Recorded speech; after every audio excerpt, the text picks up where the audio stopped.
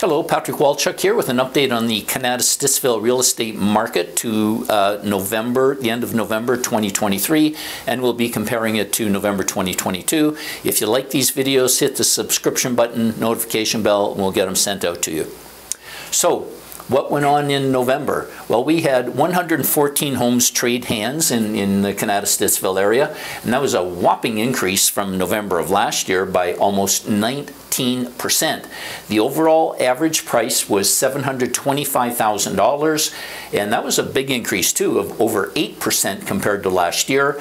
The average residential price, so break that up into residential freehold and condos. So anyhow, the freehold price is almost 780 $85,000, a big increase of almost 12% over November of last year.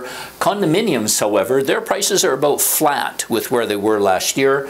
The average condo price in Kanata is now about $430,000, and homes are taking uh, just a few days more to sell. They're selling in 33 days compared to 29 last year. Thank you.